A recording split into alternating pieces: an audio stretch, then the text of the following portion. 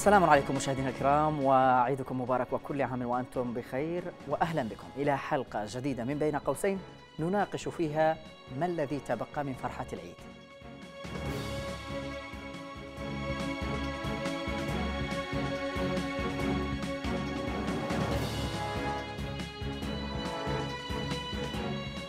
عيد فطر جديد يحل على اليمنيين يختلف عما سبقه من الأعياد التي مرت في ظل الحرب المستمرة منذ خمس سنوات ونصف. هذه المرة حل العيد متواكبا مع حالة الانتشار الرهيب لكورونا للمحافظات اليمنية خصوصا عدن وتعز وصنعاء وحضرموت. عيد بطعم الخوف مشوب بالقلق الذي صار يحيط بالجميع. عيد في ظل الحرب والغلاء عيد بلا صلاة عيد وبلا مزاورة وبلا حدائق بلا مصافحة وبلا عناق دون أي من مظاهر البهجة المعتادة في كل الأعياد السابقة إذا ما الذي تبقى من ملامح العيد؟ هل استسلم الناس للواقع بضغوطه وكربته؟ كيف فعلوا لتعويض ذلك؟ وما الذي فعلوه على الأقل لتبديد حالة القلق داخل بيوتهم؟ إذا مشاهدينا قبل أن نبدأ النقاش مع ضيوفنا نشاهد هذا الفيديو.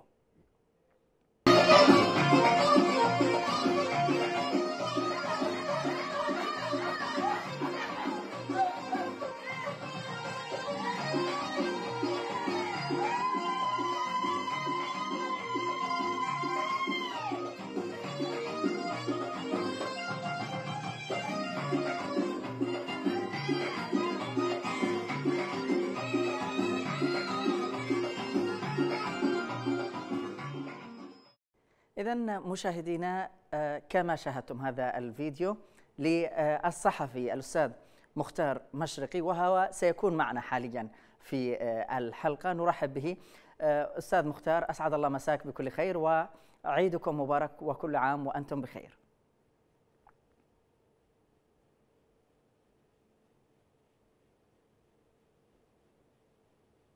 أستاذ مختار هل تسمعني؟ نعم إذا يبدو أن الأستاذ مختار ليس جاهزا حتى الآن. سيتم التواصل معه لاحقا. وأذهب لضيفي عبر الأقمار الصناعية معنا من عدن الصحفي عمر محمد حسن. أرحب بضيفي أستاذ عمر مساء الخير وعيدكم مبارك. مساء النور. العافية علينا وعليك إن شاء الله. حياك الله أستاذ عمر يعني لو تصف لنا الوضع في عدن في ظل الواقع الحاصل يعني حميات وأوبئة وحرب وانقسام سياسي وأمور كثيرة تشهدها هذه المدينة بحالة استثنائية. كيف مر هذا العيد؟ مر مر هذا العيد بمأساة على على مدينة عدن بفعل الانتشار الرهيب للأمراض والحميات بمن فيها فيروس كورونا آه إلا أن لا فرحة لا فرحة لا فرحة للمدينة أو لأبناء المدينة في ظل هذه الأوبئة. مر العيد والناس في في منازلهم يخشون من الخروج إلى ال إلى ال إلى الشوارع. آه لا لم لم يصلوا صلاة العيد باستثناء بعض المساجد. آه لم يذهبوا إلى الحدائق العامة باعتبار الحدائق مغلقة. لم يذهبوا إلى إلى الأسواق. لم يزاوروا لم يزاوروا أهاليهم. آه كالأعياد كالأعياد الماضية. لكن للأسف الشديد توجد هناك لا مبالاة عند بعض المواطنين بعض المتنفسات. للأسف الشديد خلال الثلاث الأيام الماضية ملئت بالناس اكتظت بالناس السواحل لا توجد هناك أستاذ عمر توجد نقول البعض أم المعظم؟ أو البعض من الناس نعم البعض من الناس البعض وليس لم المعظم. لم يتقبل نعم. نعم. اذا أكمل.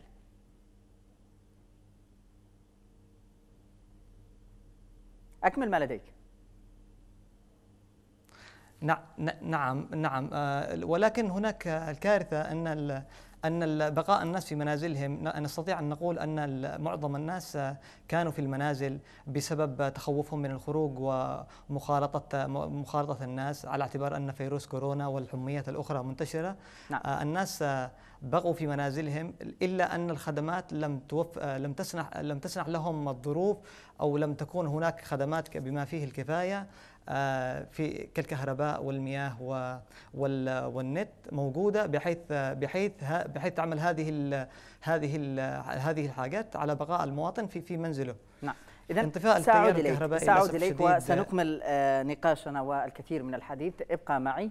وأعود مشاهدينا مرة أخرى لضيفي من عدن آه الأستاذ مختار مشرق الذي شاهدنا الفيديو له هو وابنته قبل قليل. هذا الفيديو الملفت والذي يعني آه، أثار ضجة كبيرة على ال social media. سيد مختار هل تسمعني الآن؟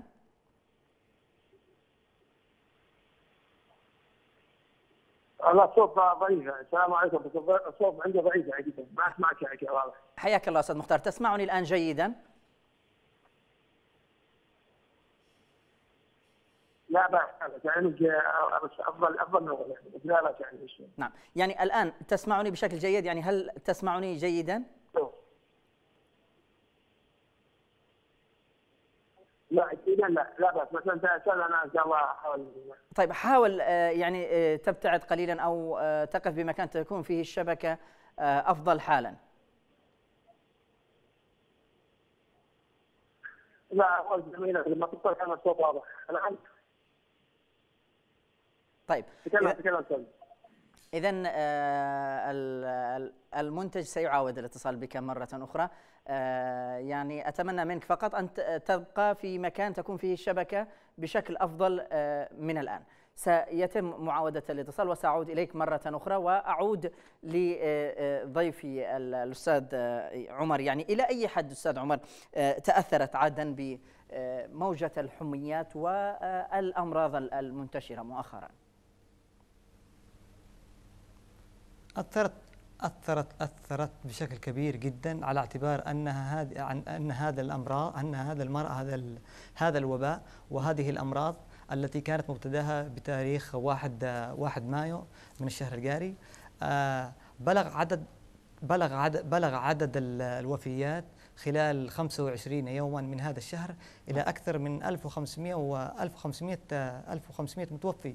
بما بما فيهم بما فيهم من ذهبوا بأمراض بوباء بأمراض المكرفس وحمى الضنك والملاريا والحميات والالتهاب الرئوي بالإضافة إلى كورونا كورونا بحسب آخر إحصائيات لمكتب لمكتب الص... لوزارة الصحة في اليمن من خلال الناطق من خلال الناطق الرسمي باسم الوزارة وكيل الوزارة الدكتور اشراق الاشراق السباعي آه، حوالي 233 حالة إصابة نعم. بمن فيهم 44 حالة حالة وفاة نعم لكن سيد عمر يعني بما يتعلق بمحور الحلقة وهو يعني فرحة العيد وما الذي تبقى منها؟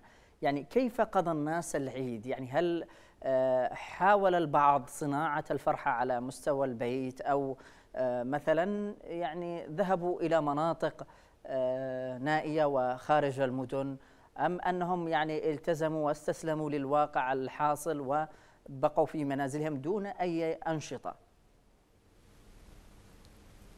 للأسف الشديد هذا العيد ليس كما قبله من الأعياد.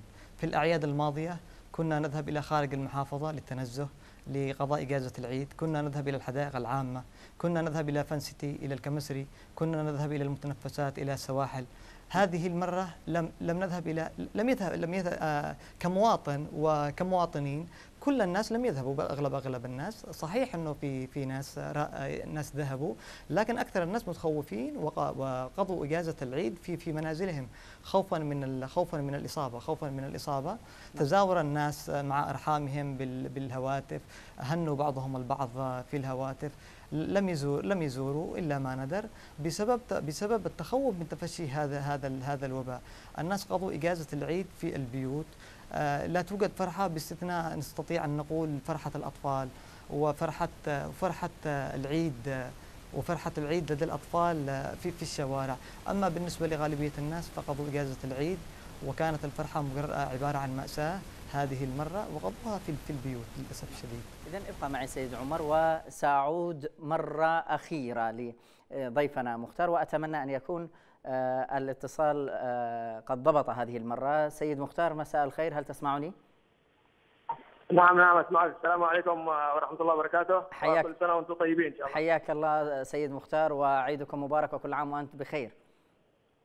كل سنة خير إن شاء الله كل سنة طيبين.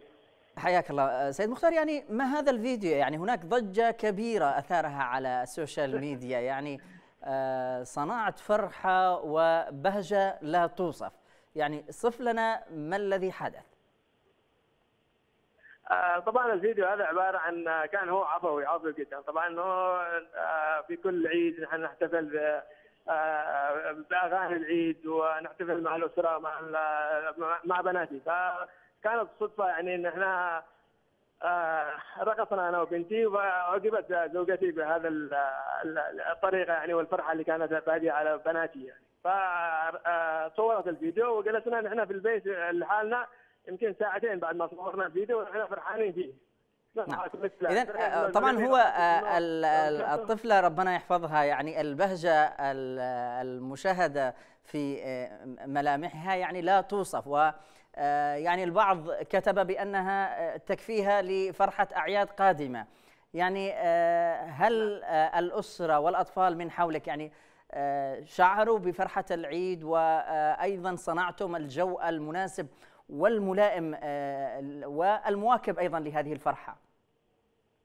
نحن نحن جلسنا ساعة ساعة يمكن ساعة يعني الفيديو كان هو عبارة عن دقيقة اللي نزل بال بال بالفيسبوك لكن نحن جلسنا ساعة نرقص فرحانين أنا والأسرة كامل يعني فكانت الفرحة طاغية طاغية. طيب يعني في ظل ال الواقع والحال الحاصل في عدن وأيضا يعني ربما عدن وضعها آه، الوضع هو قائم في كل المحافظات ولكن عدن وضعها أكثر استثناء. يعني هناك آه، حرب على مشارفها وهناك أيضا آه، يعني سوء في الخدمات وهناك انتشار للكثير من الحميات وآخرها فيروس كورونا. يعني ما الذي تبقى من فرحة العيد في هذه المدينة؟ زي ما قلت عن صناعة صناعة فرع. يعني الآن أغلب البيوت في في عدن يعني حالها طبع الكافر يعني كهرباء ماء يعني فالشخص اللي يستسلم لهذه الأمور لا يمكن يعني يمرض أو لكن اللي يحاول إنه يصنع فرحه في في أبسط الأشياء فلازم يزرعها لاسرته والآخرين. نعم، اذا آه، نتمنى لكم السعادة الدائمة سيد مختار. مشرقي آه، أشكرك جزيل الشكر صحفي رياضي آه، يمني كنت معنا من العاصمة المؤقتة. عدن شكرا جزيلا لك. ومشاهدينا قبل أن أعد أو أعود لضيفي عبر الأقمار الصناعية نذهب لمشاهدة هذا الاستطلاع من العاصمة المؤقتة عدن. ومن ثم نعود لإكمال الحديث. يعني تقريبا منذ تحرير عدن هذا هو العيد الأكثر وحشة على هذه المدينة لأنه اجتمعت فيه الكورونا على عوامل الحرب على انقطاع الكهرباء تقريبا بشكل شبه تام على الخلاف السياسي على كل الأزمات لكن رغم هذا الناس يحاولوا أنهم يختلسوا بعض لحظات الفرح. نحن حاولنا أن نستغل ساعات الصباح الباكر حيث ما فيش زحام كي نكسر الحظر المفروض بسبب كورونا وأن نأتي إلى البحر مع العائلة نستنشق بعض الهواء ومن ثم نعاود إلى منازلنا ونحبس هناك حتى تنجلي هذه الغمة وهذا الوباء عن المدينة. لا شيء تبقى آه، من عيد آه، في عدن. لا, لا ليس لدينا فرحة ليس لدينا ابتسامة ليس لدينا فرحة. كل بيت تخرج منه جنازة. كل أسرة تبكي في هذا العيد. آه، كورونا أتت. آه، أتت علينا حرب اقتصادية أتت علينا حرب آه، آه، حرب عسكرية حرب صحية وباء أمطار سيول كل ما ذلك أتى على أهل عدن. إحنا أصبحنا منكوبين. أين المنظمات الدولية؟ الدولية أين أين أين الناس اللي يعني تنقذ أهل عدن من هذه الكارثة اللي وصلنا بها؟ نحن نعيش في وضع كارثي مأساوي ولكن نقول لله الحمد. حاليا كل الأسر موجودة في بيوتها تحاول أن تحافظ على ما تبقى من من أطفال وأهاليهم. آه، ليس لدينا في عدن سوى الصبر ولكي نعيش في في هذه في هذه الأوضاع لابد من الصبر وبإذن الله سي إذا نعود مرة أخرى لضيفنا عبر الأقمار الصناعية الصحفي عمر محمد محسن. سيد عمر يعني هناك كما شاهدنا خلال آه، اليومين الماضية فيديو لطبيبة في آه، مستشفى الأمل وهي طبيبة معالجة لحالات كورونا وتكاد أن تبكي من كثر الاستغراب من عدم التزام الناس ولا مبالاتهم. يعني آه، كما يلاحظ بعض الشوارع مكتظة والحافات أيضا في عدن مكتظة. هل يمكن اعتبار أن هناك في عدن من لا يأبه في بما يجري؟ يعني كيف يمكن تفسير هذه الحالة؟ نعم هناك لا مبالاة كما قلت لك كما قلت لك سابقا لا مبالاة من قبل الناس. الناس تحدثه عن مخاطر كورونا يقول لك هذا المرض آه، لم يأتي آه، لم لم لم يلتزم لم يلتزم لم يلتزموا لما آه، لما تروجه لما لما تحذر منه منه وزارة وزارة الصحة ومكتب نعم. الصحة بمحافظة عدن لو قلت لك على سبيل على سبيل الطرافه هناك شخص كان ملفوف ملفوف الشال على على على وجهه. آه، آه، أخبره أحد المواطنين قال له لماذا لماذا تعصب رأسك هكذا؟ لا يوجد كورونا. قال له أنا مصاب بكورونا لا أريد أن لا أريد أن تنتقل العدوى إليك. المواطن فر هاربا. الناس للأسف الشديد للأسف الشديد لم تعي خطر كورونا بما فيه الكفاية. لا يوجد هناك لا يوجد هناك توعية صحيحة لدى المواطنين. لم تعمل الدولة لم تعمل الدولة من خلال وزارة الإعلام أو وزارة الصحة بما فيه الكفاية. بالترويج بخطر هذه الأمراض المعدية والقاتلة. للأسف الشديد للأسف الشديد نعم. الفراغ للأسف الشديد الفراغ الفراغ أو آه، في عدن أثرت سلبا على على توعية الناس وأثرت سلبا على على روح الناس روح الناس النفسية. نعم. طيب يعني سيد عمر فيما آه، يتعلق ب آه، آه، يعني جائحة كورونا. يعني أعتقد أن الإعلان عن وصول المرض لليمن يعني لم يمر عليه فترة قصيرة بل هي فترة طويلة. وبالتالي يعني يجب أن يكون لدى الناس وعي كافي وقد يعني تكونت الصورة الكاملة لديهم. أيضا في المقابل يعني هناك حملات توعوية لا تنكر. يعني عبر شاشات الإعلام وعبر آه، ربما صار الحديث السائد حاليا مسألة كورونا في آه، الشارع. وبالتالي تجد من يقول أن أننا نحن واجهنا أزمات أكثر من كورونا وواجهنا مشاكل أكثر من كورونا وحالة استهتار غير طبيعية. ما الحل مع هذا آه، أو مع هذه الحالة؟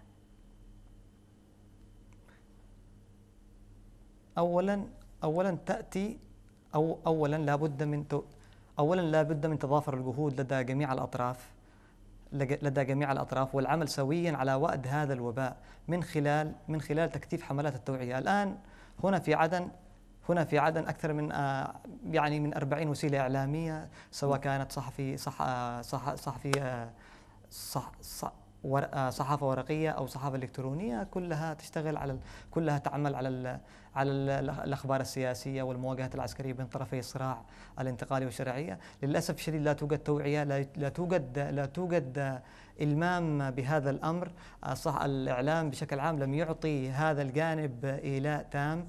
للأسف الشديد يعني نحن نحن دولة نحن دولة بلا مؤسسات بلا مرافق مرافق مرافقنا متهالكة نعم. إذا كان وباء كورونا قضى على قضى على إمبراطوريات إمبراطوريات صحية كبيرة وعملاقة آه، فما بالنا نحن في اليمن اليمن التي خرجت من بعد حرب آه، من بعد حرب حرب 2015 نعم بتحطيم هذه المرافق وتراجعها.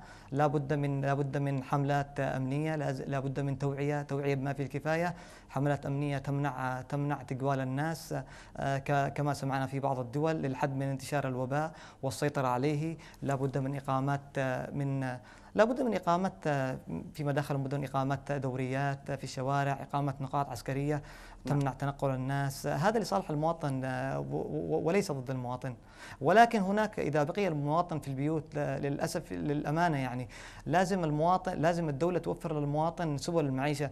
للأسف الشديد كيف تقن كيف تقن كيف تقنعني أنا كمواطن البقاء في منزلي وأنا لا أملك قوت قوت يومي؟ لا, لا رواتب لا رواتب منتظمة ولا كهرباء ولا ديمومة كهرباء ولا توصيل تام للمياه ولا حتى انتر ولا حتى شبكة النت شبكة النت موجودة. للأسف الشديد الخدمات لا توجد خدمات وللأسف الشديد لا توجد خدمات وفي ظل انتشار هذه هذه جريمة تعتبر. نعم. إذا ابقى معي آه، سيد عمر وأرحب بضيفي من مارب عبر الأقمار الصناعية الصحفي آه، مجدي آه، محروس وهو أحد النازحين في هذه المدينة. إذا سيد مجدي مساء الخير وعيدكم مبارك وكل عام وأنتم بخير.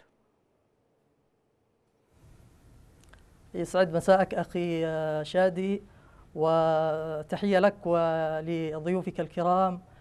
وعيد مبارك كل عام وأنتم بخير وبلادنا ووطننا الحبيب بسلام وعافية. وأنتم بخير والوطن جميعا بألف خير. ولكن نتساءل هنا يعني كيف عشتم آه، فترة آه، العيد هذا العام؟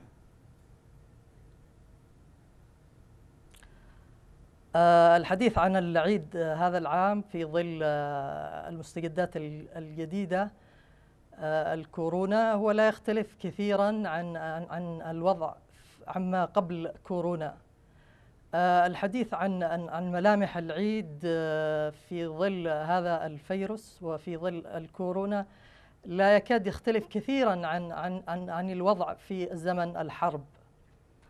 آه، لقد قضت الحرب على كل ملامح الفرحة وكل مظاهر العيد. وما كان يفعله الناس سوى مظاهر شكلية وطقوس صورية لا أكثر. آه، ما حدث الآن أن كورونا فقط كما يقال زاد الطين بلة. نعم. فقضى على ما تبقى من تلك المظاهر الشكلية. يعني نفهم منك أن الناس التزموا ولم يستجيبوا أو لنقل لم يحتفلوا بفرحة هذا العيد وظلوا في منازلهم والتزموا بإجراءات السلامة. هو جزء من هذا صحيح لكن آه، نحن للأسف الشديد في اليمن آه، حياتنا بشكل عام آه، يعني شعب محروم من الفرحة. نحن للأسف الشديد من أكثر الشعوب ربما أعيادا ومناسبات لكن أيضا نفتقر للفرحة. تكثر أعيادنا وتقل فرحتنا للأسف. هذا الشعب اليمني المحروم من الفرحة للأسف الشديد دائما يعود من منتصف الابتسامة. آه هذا الشعب آه لم يهنأ بفرحة كاملة لم يفرح ملء قلبه ولم ينم ملء عينيه ولم يضحك ملء فمه. للأسف الشديد. فإذا حدث ويعني أعلن الناس آه، أشكالا آه، رمزية للفرح وللعيد ول فهي فهذا جزء من اعتقاد الناس أن أن الفرح وأن العيد فعل مقاومة لا أكثر. نعم. يعني هناك كانت آه، احتفالات بسيطة على أيضا حتى على مستوى الأسرة وكانت فرحة منقوصة لنقل عنها ولكن مع جائحة كورونا. يعني ما الذي تبقى من هذه الفرحة؟ هل يمكن القول أنها انتهت تماما ولم يعد هناك شيء اسمه عيد؟ آه للأسف الشديد آه آه، جائحة كورونا قضت على ما تبقى من ملامح وصور ومظاهر العيد آه، خصوصا في المناطق التي التزمت آه، التزم الناس فيها بيوتهم وجرت فيها بعض الإجراءات الاحترازية والوقائية كالحظر حظر التجوال الجزئي. وأتحدث هنا عن مأرب تحديدا التي تشهد خلال اليومين الماضيين. آه، حظر تجوال آه، جزئي آه، يبدأ من السادسة مساء وينتهي في السادسة صباحا.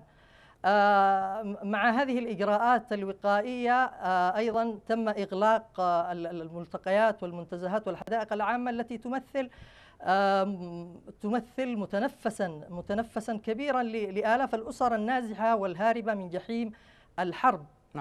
آه، بالإضافة إلى أيضا آه، قلة آه، التزاور وتبادل الزيارات بين الأسر.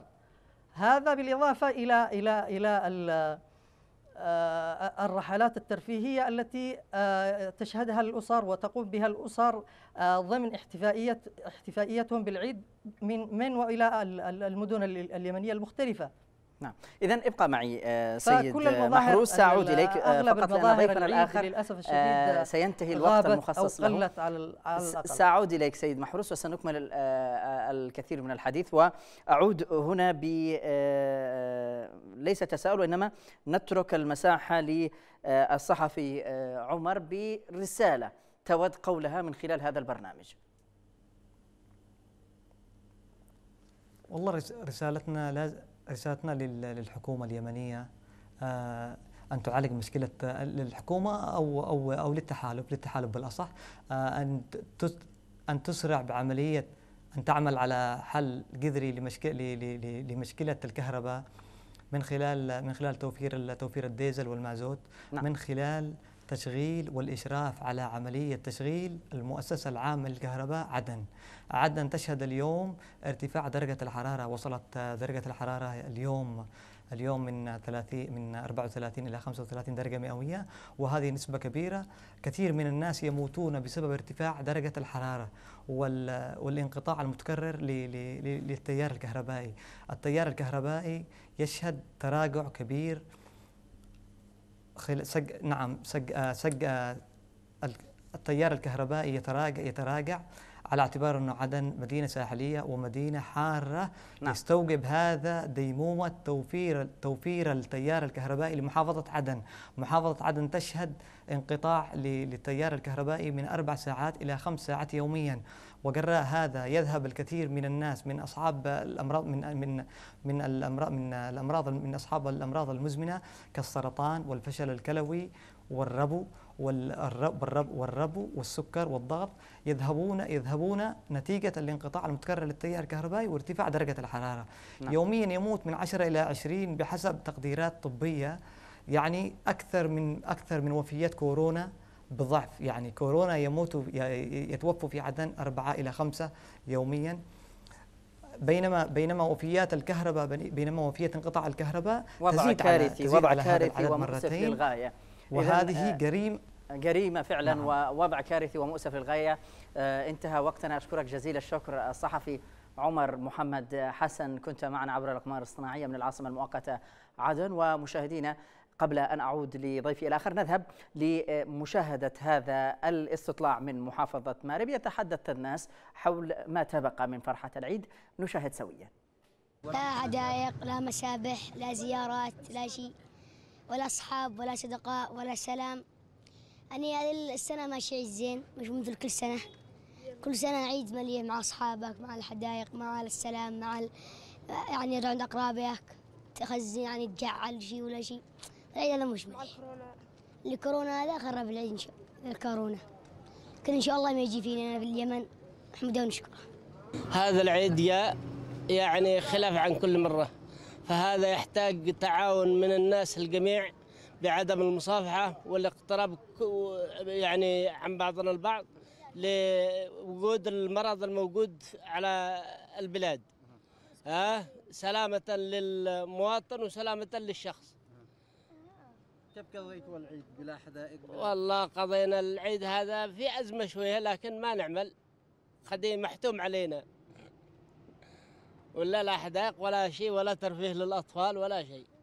تبقى من ملامح العيد؟ تبقى الوجوه الجميلة تبقى الناس اللي ما عايشة في أوساط بيوتها أوساط بين أبنائها. وأعتبر أنه هذا شيء جميل. وشيء متحضر لما يكون الأطفال والأسرة كلهم في بيت وعلى ما بيقولوا خليك في البيت. هذا أجمل كلمة في وقت في وقت جراثيم الكورونا والحمد لله أنا أظن الشيء هذا جميل. وعيد مبارك للجميع إن شاء الله. وكل سنة وأنتم طيبين. وشكرا لل إذا مشاهدينا هذا كان استطلاع من العاصمة أو من مدينة مأرب.